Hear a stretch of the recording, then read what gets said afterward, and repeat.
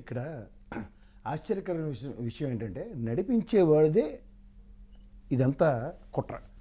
నితిన్ గడ్కరీ గారు చూడండి నిన్న వచ్చి సూక్తి ముక్త వాళ్ళు చెప్పి వెళ్ళారు ఈ చెత్తతో ఇదంతా అని. కానీ వాస్తవానికి service and user provider charges మీద సెంట్రల్ గవర్నమెంట్ ఎఫ్ఆర్బిఎం లిమిట్స్ పెంచింది. మరి గతంలో కేసీఆర్ గారు ప్రెస్ మీట్ గమనిస్తే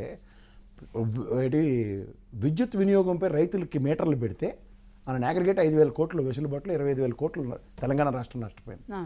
ఇది పైలట్ ప్రాజెక్ట్ కింద ఆల్రెడీ ఇందాక రామకృష్ణ గారు బాగా చెప్పారు పైలట్ ప్రాజెక్ట్ అన్న వర్డ్ గ్యాప్ ఉంచుకోండి పైలట్ ప్రాజెక్ట్ కింద ఆల్రెడీ శ్రీకాకుళంలో మెటీరియల్ పెట్టారు ఇప్పుడు ఉభయ గోదావరి జిల్లాలో పిఠాపురం దగ్గర ఈ ఇది ఎక్స్పెరిమెంటల్ మాడ్యూల్ అన్నమాట. ఏంటి. చెత్త పన్ను విధించడం. సో ఈ యూజర్ ఛార్జెస్తో ఎఫ్ఆర్బిఎం లిమిట్స్ పెరుగుతాయి. సో ఇవి ఇంటర్లింక్డ్ చెత్త పన్ను అంతటా ఉంది. ఉంటుంది. కట్టకపోతే ఏంటి అనేది ఇక్కడ వాస్తవం ఏంటంటే కట్టకపోతే కాదు. ఇప్పుడు ఇందాక రామకృష్ణ గారు ఎలా చెప్పారు? మున్సిపల్ ట్యాక్స్ మనం ప్రతి ఇంటికి కడతాం. అందులో ఏంటి? మనకు మున్సిపల్ వాటర్ బిల్లు వేరు. ఎందుకు? దీనికన్నా అనానమస్గా చేస్తుంది ఏది? వేరే విధంగా చేస్తుంది దానికి సర్వీస్ ఛార్జెస్ మనం ప్రొవైడ్ చేసే విధానం ఉంది. ఎలా? కరెంటుకి వేరేగా కట్టి ఇవ్వడం అలాగే నీటికి కూడా వేరే మీటర్తో కడతాం కానీ వాస్తవానికి మున్సిపల్ పరిధిలో ఉండదు. ఇది చెత్త కలెక్షన్ చెత్త తీసుకెళ్ళడం. మన ఇంటి పన్నుకి ఏంటంటే మనకి అంతకన్నా ఇంకేముంటుందమ్మా వాళ్ళకి? అవును. ఇప్పుడు మనకి వాళ్ళకి డైరెక్ట్ ఇంటరాక్షన్ ఏముంటుంది రోడ్లు మున్సిపాలిటీలు వేయాలి. దానికి ఏంటి? మనం వెహికల్స్ అన్ని ఆర్టీఏ త్రూగా కొంటున్న దానికి రోడ్ ట్యాక్స్లు కడుతున్నాం. అలాగే మన ఇంటి ముందు రోడ్డుకి మనం మున్సిపాలిటీకి ఎంత పే చేస్తున్నాం? మన ఇంటి పనులు ఆ ఆ సర్వీస్ ప్రొవైడింగ్ అన్నిటిని ఇప్పుడు ఏం చేశారంటే ఒక వేరే కాన్సెప్ట్ కింద డ్రైవ్ చేశారు. ఇప్పుడు ఎప్పుడైతే మీరు మనం ఒకటి చేసుకుంటున్నాం చూడండి. మనం ఈ సేవ నుంచి మీ సేవ మీ సేవ నుంచి ఇవాళ సచివాలయ వ్యవస్థలకు పరివర్తన చెందుతున్నప్పుడు ఇవి ఏం చేస్తున్నాం? మన కళ్ళ ముందు మనం నిద్రపోతున్నాం అందరం. ఏంటి? వాడికి పదిహేను వేలు జీతం ఈక్వల్ టు గవర్నమెంట్ వేజం అలాగే మీకు ఇంటి ముందు ఒక వాడు ఒక వాలంటీర్ వస్తున్నాడు వాడికి ఐదు వేలు జీతం. ఎక్కడి నుంచి డబ్బులు వస్తున్నాయి అనుకుంటున్నారు ఇవి? మనం కడుతున్న ట్యాక్సులు ఇప్పుడు దీనికి ఏం చేశారంటే దాంట్లోంచి ఒక విపరీత ధోరణి తెరిచి దాన్ని యూపీ మాడ్యూల్ అమ్మా. యూపీ ఎక్స్పెరిమెంటల్ మాడ్యూల్ ఎప్పుడైతే మన మీద ఇంపోజ్ చేస్తూ ఉంటారో అందుకే నీకు ఒకటి గుర్తుంచుకొని నేను ఎప్పుడూ ఒక విషయం చెప్తూ ఉంటాను ఈ బీజేపీ ప్రభుత్వం చేస్తున్న వినూత్న పంధ ఏంటంటే బీ టీములు తయారు చేసుకుంటూ ఎక్కడైనా ఇప్పుడు ఉదాహరణకి చంద్రబాబు నాయుడు గారు ఆయనలో ఏవి ఆటలు సాగనివ్వలేదు ఆయన ఇవన్నీ పైలట్ ప్రాజెక్టులు ఇంతకన్నా ముందు నుంచి వాళ్ళు డిజైన్ చేసి కూర్చున్నవి. ఇప్పుడు నాలుగే నాలుగు వ్యవస్థలు. ఇద్దరు నడిపిస్తారు ఇద్దరు అమ్ముతారు ఇద్దరు అమ్ముతారు ఇద్దరు కొంటారు. అదే వాళ్ళ దేశం మన దేశంలో చలామణి అవుతుంది. ఇద్దరు అమ్మేదెవరు? అమిత్ షా మోడీ గారు. కొనేదెవరు? అదానీ అంబానీలు. సో ఈ కార్యక్రమంలో ఏమవుతుందంటే ప్రతి ఒక్కళ్ళు మనకు తెలియకుండానే మన గోతులు మనమే తవ్వుకుని రెడీగా ఉన్నాం. ముందు నుయ్యి ఉంది ఆల్రెడీ మనకు తెలిసి నీళ్ళు తవ్వుకుంటున్నామని. కానీ వెనకాల గోతులు తవ్విందని మనం మర్చిపోయి ఏం చేస్తున్నాం అంటే ఏం చేయాలన్న దాంట్లో ఇవాళ ప్రజలకు ఖచ్చితంగా అతి దగ్గరలో తెలుస్తుంది. ఇప్పుడు మనకి ఇంకొక మీకు బాగా అర్థమయ్యే భాషలో చెప్పాలంటే ఈ అదానీ పోర్ట్ కొన్నాడు Gangavaram port. MLA ex MLA Varma garu phone లైన్లోకి వచ్చారా? ఓకే. ఆయన అంటే ఇక్- ఇక్కడ ఇక్కడ పిఠాపురం దగ్గర ఎక్స్ ఎమ్మెల్యే ఆ, అవునా ఇవన్నీ ఎందుకు నేను నేపథ్యాలు చెప్తున్నానంటే ఈ పోర్ట్ని గత ప్రభుత్వంలో పదివేల కోట్లకు అమ్ముదాం ఉన్నదాన్ని ఏమీ కాకుండా ఆరు వేల కోట్లకు అమ్మేశారు వీళ్ళు సో ఇవన్నీ జరిగిపోతున్నాయి. ఇవి ఎవరు తేరుకోవాలి ఇవి? ప్రజలు ప్రభుత్వం నడిపిస్తున్న వాళ్ళు. ఇవన్నీ మనం మర్చిపోతున్నాం. మర్చిపోయి వాళ్ళేంటి చెత్త పనులు. అంటే పెన్నీ వైజ్ పౌండ్ ఫులిష్ అనటం చూడు ఎప్పుడైతే చిన్న చిన్న విషయాల మీద మనం ప్రైమరీ ఫోకస్ డైవర్ట్ చేసుకుంటూ ఉంటామో ఇదేంటి సంఘటితంగా? ఆ ఊర్లో వాళ్ళందరూ ఒక్కసారి నిలబడ్డారు అనుకో అయిపోతుంది. ఆ ఊర్లో ఉన్న నిలబడి వాళ్ళు ఎక్కడ సామర్థ్యం లేకుండా ఏం చేస్తున్నారు వాళ్ళు? ఎవరికి వాళ్ళు ఇండివిజువల్గా ఒక వీధిలోకి వెళ్తారు అక్కడ అటాక్ చేస్తుంటారు. ఇది నెక్స్ట్ నీ వీధికి వస్తుందా రాదని రిప్రకేషన్స్ లీడ్ చేస్తూ ఇప్పుడు ఇక్కడ కేసీఆర్ గారు ఇక్కడ నేను మీటర్లు పెట్టను అన్నారు. ఏమైంది outcome I don't want that FRBM limit అన్నారు. ఇట్లా ఇక్కడ ఏంటంటే అప్పుల నేపథ్యంతో నీ ప్రభుత్వానికి ప్రతి దానికి అప్పు కావాలి. విద్యుత్ మీటర్లు పెడతారు ఈ చెత్త పన్ను ఉంటుంది రాబోయే రోజుల్లో ఇంకా ఘోరాతి ఘోరమైన విషయాలు ఉంటాయి. కానీ ఏం చేస్తున్నారంటే ప్రజా ప్రతిస్పందనని వాళ్ళు ఎదురు చూస్తున్నారు. అందుకే ఇవన్నీ పైలట్ ప్రాజెక్టులు. బేస్ క్యాంపులు క్రియేట్ రాష్ట్రాల పైలట్ ప్రాజెక్టులు ఇంకొకటి సరే ఇప్పుడు వెళ్ళి రైతుల్ని రైతులకు మీటర్లు పెట్టి అదొక పైలట్ ప్రాజెక్టు. సరే మీటర్లు ఇది చూడడానికి ఏదో ఏదో చేయబోతున్నామని ఏదో కనబడుతుంది? చెత్త పైలట్ ప్రాజెక్ట్ ఏంటండి? ఇవన్నీ నేను చెప్తున్నాను యూజర్ ఛార్జెస్ అంటే భయపడిపోతారా? ప్రజలు భయపడిపోతారా? భయపడతారు కదా ఇంక నెక్స్ట్ జరిగేది ఏముంది? ఇప్పుడు ఇంటికి తాళం వేశారమ్మా. రేపు పొద్దున ఒక వంద మంది పోలీసులు బెటాలియన్ వచ్చి ఓ వీధి అంతటిని అటాక్ చేస్తున్నారు అనుకో ఎవరు వచ్చి పర్యవేక్షించగలరు పోలీసులు ఎక్కడ నల్లరలు జరుగుతుంటే వస్తున్నారా? దేనికి వస్తున్నారు కూడా అర్థం కాదు. వాళ్ళు కూడా ఎత్తుకెళ్ళడానికి. వెంకట్రావు గారు చెప్పినట్లుగా ఆ టాయిలెట్స్ దగ్గర వీళ్ళు ఉన్నట్టుగా పోలీసుల పరిస్థితి ఇక్కడ దాకా వచ్చింది అంటే నేను అంటుంది అదే. మనలో ఒక వ్యక్తి వర్మ ఇవా- గారు. ఇవాళ మనలో ఒక వ్యక్తి టాయిలెట్స్ని పరిరక్షిస్తున్నాడు అంటేనే మనం ఎలా దగ్గర ఒక డిగ్రీ చదువుకున్నాడు ఆ పని చేస్తున్నాడు అంటే చూసుకోండి ఒకసారి. Pithapuram Pithapuram ex MLA Varma garu join అయ్యారు. వర్మ గారు? నమస్తే. నమస్తే అండి. ఏంటండి ఈ తాళాలు వేయడం ఏంటి పిఠాపురంలో? ఆ సామాన్లు తీసుకెళ్ళిపోతామని అంతంత బ్యానర్ల లాగా కట్టుకొని వెహికల్స్ రావడం. పిఠాపురంలో ఏదో ఏమన్నారు? పైలట్ ప్రాజెక్ట్ ఏది? ఇక్కడే స్టార్ట్ చేశారంటున్నారు. ఏం పైలట్ ప్రాజెక్ట్ అండి? ఏ పైలట్ ప్రాజెక్ట్ లేదండి అక్కడ. పిఠాపురంలో అసలు డ్రైనేజీలు క్లీనింగ్ లేదు. మంచినీళ్ళు లేవు. మున్సిపాలిటీకి ఏ ప్రాజెక్టులు లేవు. యాక్చువల్గా ఏంటంటే వాళ్ళు ఇంటి పన్ను వసూలు చేసుకోవచ్చు. దానికి ఒక విధానం ఉంది. ఒక డిమాండ్ నోటీస్ ఇవ్వాలి. డిమాండ్ నోటీస్ స్పందించకపోతే మళ్ళీ రెండో నోటీస్ ఇవ్వాలి. స్పందించకపోతే జప్తు చేయాలంటే కోర్టు నుంచి డైరెక్షన్ తెచ్చుకోవాలి. వీళ్ళు డైరెక్ట్ వెళ్ళడం వెళ్ళడం లేడీస్ లోపల పెట్టి చైన్ వేసి తాళం వేసేస్తున్నాం. Oh my god. రెండవది అన్నిటికంటే దారుణం అంటే హెరాస్మెంట్ వాలంటీర్లని రాత్రి పది తర్వాత పంపించి తలుపులు కొడుతున్నారు. మహిళలు ఎంత ఇబ్బంది పడతారండి? అలాగే స్టీల్ వేసేయడం. స్టీల్ వేయడానికి వీళ్ళకి అధికారం ఎవరు ఇచ్చారండి. దానికి సిస్టమ్ ఉంది కదా ప్రభుత్వం ఇది. కాదండి ఇప్పుడు ఈ ఇంటికి సీలేసిన ఇంటికి ఎంత క- ఎంత కట్టాల్సి ఎంత కట్టాల్సి ఉందంటారు సుమారుగా? ఏమండి పాత పన్ను పదిహేను వందలు పదహారు వందలు ఉంటే నేను అతను కూడా మాట్లాడాడు ఇంటి కదా అతను. ఏడాదికి? ఈ వేల అది ఎనిమిది వేల రూపాయల పన్ను వస్తుందండి ఆరు వేల ఐదు వందల నుంచి ఎనిమిది వేలు వస్తుంది. సరే వచ్చింది. ఎలా వచ్చింది అని ప్రశ్నిస్తే ప్రశ్నించడానికి లేదు. నువ్వు పన్ను కట్టు అంటే లేకపోతే తాళం వేస్తాం. మేము రాత్రం కట్టు. మరి అది రైట్ ఉంటుంది కదా. నాకు పెరిగిన పన్ను ఏ విధంగా తీసుకున్నారు? బేసిక్ రిజిస్టర్ వాల్యూలో తీసుకున్నారా? లేకపోతే పాత పన్ను దాని మీద అదనంగా తీసుకున్నారా? ఆ టెక్నికల్ కాలిక్యులేషన్ ప్రజలకు కూడా తెలియాలి కదా. లేదనుకుంటే ఒక అవగాహన సదస్సు పెట్టాలి. ఏమీ లేకుండా ఈ కమిషనర్లు ఇల్లు వెళ్ళడం. నీళ్ళు రావు నీటి పన్ను కట్టకపోతే మీకు పెన్షన్ కట్ మ్మ్. ఆ పెన్షన్ డబ్బుల్లో మీకు లాగేస్తున్నారు. ఇవి పైలట్ ప్రాజెక్టులు అంటే ఏం చెప్తావు? ఈ పైలట్ ప్రాజెక్టులని వాళ్ళు అనుకుంటున్నారమ్మా ఈ పైలట్ ప్రాజెక్ట్ హెరాస్మెంట్ అనేది పైలట్ ప్రాజెక్ట్ అమ్మా అదే అదే అదే అంటున్నాము. ఇదే పైలట్ ప్రాజెక్టు అంటే తీసుకోకపోతే సామాన్లు తీసుకెళ్తాం. అనేది ఒక పైలట్ ప్రాజెక్ట్ అక్కడ సక్సెస్ అయింది అనుకోండి పిఠాపురంలో అన్ని చోట్ల. కూడా వెహికల్స్ దిగుతాయేమో. డెఫినెట్గా ప్రజలు నేను- చూస్తున్నారు మొన్నటి దాకా ఓటీఎస్ ఓటీఎస్ అని తిరిగారు. ఇప్పుడు పన్నుల మీద పన్నుల మీద మళ్ళీ దాదాపు పదివేల కోసం ఇల్లు జప్తు చేస్తారా అండి? సీలేసి మరి.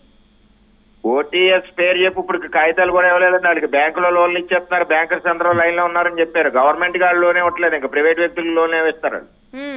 రెండోది వీళ్ళు తాళాలు వేస్తున్నారు కదా. ఆడవాళ్ళని పెట్టి.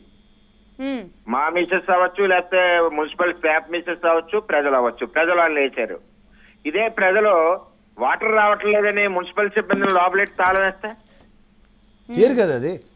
అది దాని ప్రజా చైతన్యం అంటారా. ప్రజా చైతన్యం లేదు కదా. అందుకని అది టేకన్ యాజ్ గ్రాంటెడ్ ఆ, ఈ లేకపోలేదని ఉందా అది? లేదు. ఇక్కడ ఏంటంటే లేదు మీరు అనవసరంగా ఆవేశపడుతున్నారు లేదు అది. ప్రజల్లో ప్రతిస్పందించే గుణం కరువైంది కాబట్టి ఏమండి తెలంగాణ లాంటి తెలంగాణ లాంటి ప్రదేశాల్లో ఆ మధ్య కాలంలో కూడా అధికారులు లోపల పెట్టి తాళాలు వేసిన సంఘటనలు ఉన్నాయి. తెలంగాణలో అమ్మా ఆంధ్రప్రదేశ్లో అంత సామర్థ్యం లేదు. ఇవాళ ఒక తెగించి రైతు ఉద్యమం అమరావతిలో. చేస్తున్నారేమో కానీ మిగిలిన దగ్గర ఎక్కడ ఇలాంటి సంఘటిత పోరాటాలు ఉండవు. సంఘటిత పోరాటాలకు తెరలేపినప్పుడు ఖచ్చితంగా సొల్యూషన్స్ ఉంటాయి. ఒక్క నిమిషం ఏనండి అమ్మా ఏనండి ఉమ్, తెలంగాణలో అంటే ప్రజాస్వామ్యం ఉందామో కొంత దాని ప్రకారం వింటున్నారు. ఇక్కడ స్వాగతించాలి తప్పితే ఈ తప్పుని మనం సరిదిద్దుకోవాలని స్వాగతించాలి తప్పితే ఇక్కడ కేసులు పెట్టేసి లోపల పడేస్తున్నారు? అది పరిస్థితి. జైలు బరో కార్యక్రమానికి పిలుపునివ్వండి. నిర్బంధించి పన్నెండు గంటల గేటుకి తాళాలు వేసి లోపల తాళాలు వేస్తే జైలు బరో పిలిపివ్వండి వర్మ గారు జైలు బరో పిలిపివ్వండి ఇవ్వాలి పిలిపి ఇవ్వాలి పిలిపి ఇవ్వాలంటే ఎలా ఉందో పరిస్థితి చూస్తున్నారు కదా ఇక్కడ అంతాను. మేము చేసి చేస్తాను ప్రతిపక్ష యొక్క పాత్ర ఏది ఉందో అదంతా కూడా మేము చేస్తానే ఉన్నాం. ఎక్కడ జరగకుండా చేస్తానే ఉన్నాం. లేదు లేదు వర్మ గారు మీరు మీరు ఒక రకంగా పాపం ఆ ఇంటికి తాళం వేసిన దగ్గర తాళం తీపిచ్చే వరకు బాగానే ఫైట్ చేశారు. కానీ ఏం చేయాలి? ప్రజలు ఏం చేయాలి? ఏ వాహనం ఏ వాహనం ఎప్పుడు ఇంటి ముందుకు వస్తుంది? మా ఎలా వీళ్ళు దీన్ని ఎక్కడ దీని నుంచి ఎలా బయటపడాలి? బయట అంటే సోదరు చెప్పినట్టు చైతన్యం రావాలి ఒకటి. మొండికేసి డబ్బు కట్టకుండా ఉండడం ఒకటి. అది విషయాలు. ప్రభుత్వం డబ్బు కడతారు అందరూ కడతారు. డబ్బు కట్టద్దని ఎవరు అనరు. దానికి ఒక సిస్టమ్ ఉంటుంది. డ్యూ ప్రొసీజర్ ప్రకారం వెళ్ళాలి.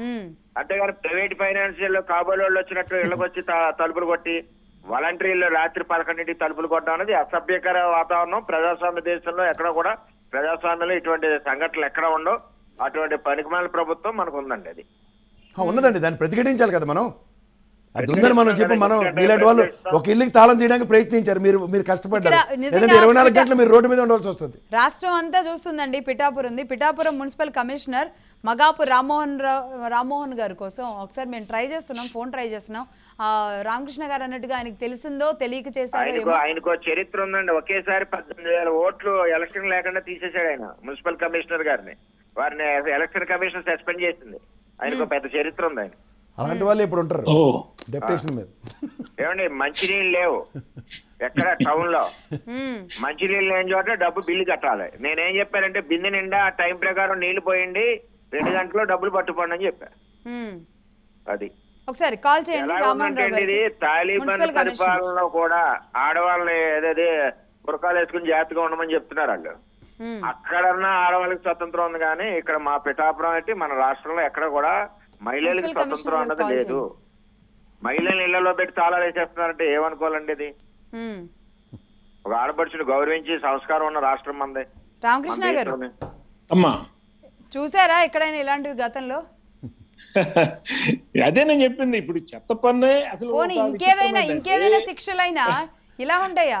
చూడలేదు రామకృష్ణ గారు చూడలేదు కాబట్టి ఇప్పుడు చూపిస్తారు అలా కాదండి. ఇప్పుడు ఇందాక పిఠాపురం మాజీ ఎమ్మెల్యే గారు చెప్పినట్టుగా భయపడతారండి. కొంతమంది భయపడి చెత్త పన్ను కూడా కడతారు. ప్రభుత్వం అంటే కొంతమంది అవుతుంది. రామ్మోహన్ రావు గారికి. ఆయన ఎత్తుతాడు ఎత్తడు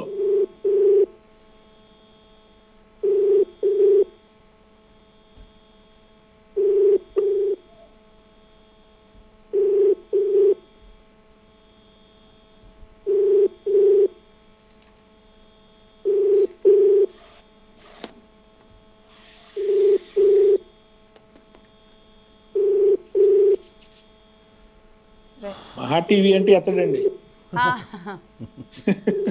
అయితే ఇప్పుడు మేము కాల్ చేసింది గుండేపల్లి సూర్యావతి గారి హస్బెండ్ బాబ్జీ గారు. ఓకే, జవాబు ఓకే, ఇవ్వడం లేదు. దయచేసి తర్వాత ప్రయత్నించండి. ఓకే అండి. అంటే ఆయన కోఆప్షన్. కోఆప్షన్ నెంబర్గా కూడా ఉన్నారు ఆయన. సూర్యావతి గారు మున్సిపల్ చైర్మన్గా ఉన్నారు. బట్ ఆయన కూడా చూసుకుంటారు కాబట్టి ఆయన కన్నా లిఫ్ట్ చేస్తాం. నెక్స్ట్ కమిషనర్ గారికి ఒకసారి ట్రై చేయండి. ఆప్షన్ మెంబర్ కాబట్టి ఆప్షన్ లేకుండా ఇచ్చారు ఆయనకి. ఇప్పుడు ఇప్పుడు లక్ష్మి గారు ఇందాక మనం ఎందుకని ప్రజలు ప్రతిఘటించడం లేదు అంటే ఇప్పుడు ఓటీఎస్కి సంబంధించండి చాలా చోట్ల మహిళలు ప్రతిఘటించారండి. మీరెవరు మా దగ్గరకు వచ్చి ఎప్పుడు నలభై సంవత్సరాల క్రితం మాకు ప్రభుత్వం పట్టా ఇచ్చింది ఇప్పుడు వచ్చి మీరు పదివేలు కట్టమంటారేంటి? ఒకసారి పెళ్ళి చేసుకున్న తర్వాత మళ్ళీ పెళ్ళి చేసుకోవటం ఏంటి అని చెప్పని అనేక సార్లు మన వీడియోలో కూడా వైరల్ అవుతుంది అవును. చూసామండి ప్రతిఘటించపోవటం అక్కడక్కడ ప్రతిఘటించడం చూసాం. అయితే మాబుగా పెద్ద ఎత్తున ప్రతిఘటించడం లేకపోవచ్చు అవును. కానీ అసంతృప్తి అయితే ఉన్నాయి అందుకని ఇప్పుడు మీరు ఓటీఎస్ చూడండి నలభై లక్షల మందికి గాను లక్ష మంది కట్టారండి వేచి ఉండండి ఓటీఎస్ లేదా కట్టారు తిరిగి కానీ మళ్ళీ ప్రయత్నించండి రిజిస్ట్రేషన్ చుట్టూ ఒక నిమిషం అండి మున్సిపల్ కమిషనర్ గారికి కాల్ వెళ్తుంది यह कॉल पर हाँ। व्यस्त है कृपया प्रतीक्षा करें Okay. या कुछ सब number you have dialled is okay ఆయన currently బిజీ busy. వస్తుందండి Try కమిషనర్ గారి నెంబర్ బిజీ వస్తుంది ఓకే ఉమ్, ఉమ్. ఆ, అదమ్మా ఇప్పుడు ఓటీఎస్లో మనం చూసాము లక్ష మందికి రిజిస్ట్రేషన్ ఇంతవరకు కాలేదు వాళ్ళ చుట్టూ తిరుగుతున్నారు ఇప్పుడు. పదివేల రూపాయలు డబ్బులు కట్టారు ప్రభుత్వానికి డబ్బులు వెళ్ళిపోయినాయి కానీ ప్రభుత్వం చెప్పినట్టుగా వాళ్ళకి రిజిస్ట్రేషన్ చేసి ఇవ్వలేదు ఇంతవరకు. అవును. ఎందుకని ఎందుకని తాత్సారం చేస్తా ఉంది? నాకు అర్థం కావట్లా. ఇది ఒక రకమైన దొంగతనం అండి. ఇప్పుడు ఇది ఇది ఇది ఏంటి? దీన్ని ఎట్లా మనం డిస్క్రైబ్ చేయాలో నాకైతే అర్థం కావట్లా. అసలు ఓటీఎస్ సందర్భం వచ్చింది కాబట్టి దాని మీద అసలు చాలా పెద్ద చర్చ జరగాలి. ఆ ఓటీఎస్ ఫామ్స్ ఏదో కట్టింది ఇచ్చిన దాని మీద ముఖ్యమంత్రి గారి బొమ్మ ఉంది. అంటే రాష్ట్ర సింబలో లేదంటే ఆంధ్రప్రదేశ్ గవర్నమెంట్కి సంబంధించో ఏదైనా ముద్రలు ఉంటాయి కానీ అలా ఉండొచ్చా? ముఖ్యమంత్రి గారి ఫోటో కూడా బాండ్ పేపర్ మీద ఏది పడితే అది ఉంటే? అది చెల్లదు అది. అది బాండ్ పేపర్ మీద ఉంది చూసుకోండి అవును బాండ్ పేపర్ మీద అలా ఇవ్వచ్చా అండి? ఇవ్వకూడదు అది. తెలుగు స్కామ్ మర్చిపోయారు కమిషనర్ గారు లిఫ్ట్ చేశారు రామ్మోహన్ రావు గారు. నమస్తే అండి రామ్మోహన్ రావు గారు. నమస్తే అమ్మా. నమస్తే అండి మహా న్యూస్ నుంచి అండి. పిఠాపురంలో జప్తు చేయడానికి ఇంటిని జప్తు చేసి లాక్ వేసేసి కేవలం చెత్త పన్ను కట్టలేదని ఈ స్థాయిలో ఎందుకు చేశారండి? మీ దృష్టిలో ఉందా ఇది? అమ్మా చెత్త పన్ను కాదు అవుట్ ట్యాక్స్ గురించి అంటే రెవెన్యూ టీమ్స్ వెళ్ళారటండి అక్కడ ఏంటి అన్నది విచారణ మామూలుగా మా రెవెన్యూ ఆఫీసర్ని అడుగుతున్నానండి. అది అయితే నా దృష్టిలో లేదు. ఏం జరిగింది అన్నది రిపోర్ట్ ఆల్రెడీ అడిగి మా మేనేజర్ వేసాను వచ్చిన తర్వాత ఏం జరిగింది అన్నది చెప్తాం మేడం. అంటే మీకు తెలియకుండానే వాళ్ళు వెళ్ళి లాక్ వేసి సీల్ సీల్ వేయగలిగిందంతా మీకు తెలియకుండా చేయగలుగుతారా? అది ఏం జరిగిందన్నది అది తెలియదే కాబట్టి అదే చెప్తున్నాను మేడం. ఏమండి రాష్ట్రం అంతా ఈ వార్త తెలిసింది మీకు తెలియలేదా? అక్కడ మాజీ ఎమ్మెల్యే గొడవ చేస్తున్నాడు అక్కడ కూర్చుని ఆయన. మేనేజర్ గారిని రిపోర్ట్ ఇమ్మని అడిగాను మేడం. అది వచ్చిన తర్వాత ఏంటన్నది నేను చెప్తాను దాన్నే చేతులు కాలిన తర్వాత ఆకులు పట్టుకోవడం అంటారు సార్. సార్ రామ్మోహన్ రావు రామ్మోహన్ రావు గారు పోనీ మీకు తెలియకుండా మున్సిపల్ చైర్మన్ గారు సూర్యావతి గారు ఏమైనా పంపించుంటారంటారా? లేదు లేదండి. వాటి కూడా ఇవి అడ్మినిస్ట్రేషన్ సంబంధించిన వాళ్ళకి ఏమో వాళ్ళకి తెలియదు కదా మేడం. రొటీన్ మార్చి నెల ఎప్పుడు కూడా పన్నుల మీద ఎప్పుడు కూడా కొద్దిగా టీమ్స్ అయ్యేసి కొద్దిగా వసూలు చేస్తాం. దాంట్లో ఏదన్నా జరిగింది ఏమన్నది ఒకసారి మా రెవెన్యూ ఆఫీసర్ ఏదో వెళ్ళారట దాని మీద నేను విచారణ చేశాను సార్ చెప్తున్నాను. ఎన్ని రోజుల్లో వస్తుంది అంటారు విచారణ? అయిపోద్దండి వాళ్ళ సాయంత్రం లోగా తీసుకుని చెప్తాను మేడం. ఓకే మహిళలు లోపల పెట్టి మరి వేశారంటే ఎవరెవరు వేశారో పోనీ వాళ్ళు తెలుసా? ఆ ఏరియాకి వెళ్ళి ఎవరు చేశారో? ఏ అది ఏ ఎంప్లాయ్ చేశారో? అమ్మ టీం ఉందమ్మా. అమ్మ రెవెన్యూ ఆఫీసర్లు చూస్తారు ఈ పనులన్నీ ఆయ- ఆయన ఆధ్వర్యంలో ఏం జరిగింది అన్నది విచారణ చేశాను. అయిపోయిన తర్వాత నేను చెప్తాను. వీళ్ళని ఎలా శిక్షిస్తారు? మీకేమనిపించింది అసలు ఇలా జప్తు చేశారు అనగానే? జప్తు చేయకూడదు. అదే తాళాలు ఎందుకు వేశారు అన్న దాని మీద మొత్తం దీని మీద ఏంటి అన్నది మొత్తం అంతా నేను ఆయన ఏమో ఖాళీగా ఉన్న దాన్ని ఏదో చేశానని చెప్తున్నాడు అసలు మీకు నా పర్మిషన్ కావాలా కదా అన్నది ఒకటి చెప్పాం. దీని మీద ఏంటి అన్నది మా మేనేజర్ గారిని వేసాను వేసిన తర్వాత నేను చెప్తాను. అంటే ఈ లైన్లో ఎవరెవరు ఈ నిర్ణయాలు తీసుకున్నారో వాళ్ళ మీద మీరు ఎలాంటి యాక్షన్ తీసుకోబోతున్నారు? ఉంటేనండి చట్టప అది వచ్చిన రిపోర్ట్ని బట్టి డెఫినెట్గా చర్యలు ఉంటాయి మేడం. తప్పనిసరి. ఓకే. రైట్ అండి right thank you Rammohan Rao garu. Right ఇదండి. అంటే రామ్మోహన్ రావు గారు తెలియదు కమిషనర్కి తెలియదు నాయకు